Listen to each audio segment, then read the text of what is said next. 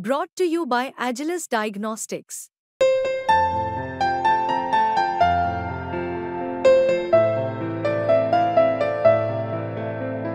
Agilus Diagnostics. In this video today, I want to talk to you all about the importance of egg freezing in your 30s. So, egg freezing or oocyte cryopreservation is a technique which allows women to preserve their fertility at a younger age and delay their childbearing. This concept is mostly applicable to women who are in their uh, 30s or in their you know late 30s uh, who want to postpone their pregnancy for uh, reasons like social reasons, career reasons, or there is sometime uh, a medical reason like some kind of uh, cancer which has to be treated and the girl has to undergo chemotherapy. So these are the situations when we undergo when when girls undergo egg freezing, and uh, this basically involves stimulating the ovaries and producing multiple eggs and taking them out through a procedure called as egg retrieval and then freezing these eggs in liquid nitrogen. This freezing can be done for a period which could be 5 years or 10 years or even in uh, depending on the reason why it has been frozen. And the success rate uh, success rate means the uh, the chances that the eggs will survive the freezing process is around 80 to 90 percent. So this is about the egg preservation. Now why should it be done when the girl is in the 30s so age has a very important and crucial role in the woman's fertility. Now, as uh, a girl is born, she's born with a fixed number of eggs.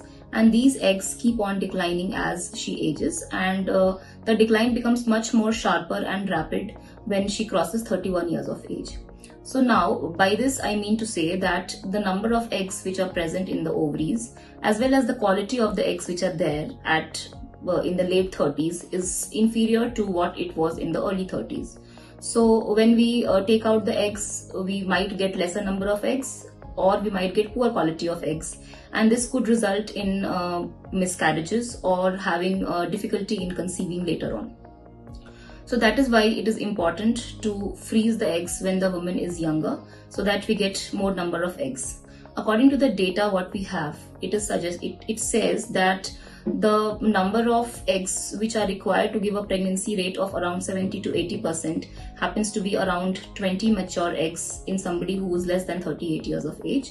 As the age increases we might need around 25 to 30 eggs but the success rate drops to success rate of having a live birth drops to about 65 to 70 percent. So this is the importance of freezing the eggs in the 30s now how does this process take place for egg freezing, we basically have two phases. The first phase being stimulation, the second phase being retrieval and freezing. So in the stimulation phase, uh, we do a couple of tests to check the egg reserve. Scans are done to see the egg reserve again and then injections are started from the day two of periods to stimulate the uh, ovaries. And in between uh, other scans and blood tests are done to check the response. Now at the end of 8 to 10 days, when we feel that the ovaries have uh, been stimulated enough, we do the procedure of oocyte retrieval and this is done after giving a special injection called the trigger injection 34 hours before the procedure. Now during this uh, oocyte retrieval there is a needle which goes in the vagina and it takes out the eggs from the ovaries. So this is done under general anesthesia and this takes around 10 to 15 minutes. Once the eggs are retrieved, the maturity is checked inside the lab under microscope and all the mature eggs are frozen in liquid nitrogen. So uh, this is basically freezing part and later on when the lady or when the girl is ready to have a baby and when they are sure of their partner, they can uh, uh, undergo the procedure of fertilization using IVF wherein the eggs are again thawed and then they are fertilized and embryos are formed and then this can be transferred inside the uterus to have a healthy pregnancy.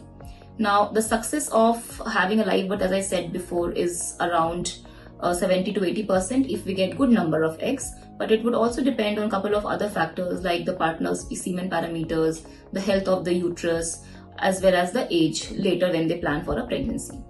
So this is all about oocyte freezing.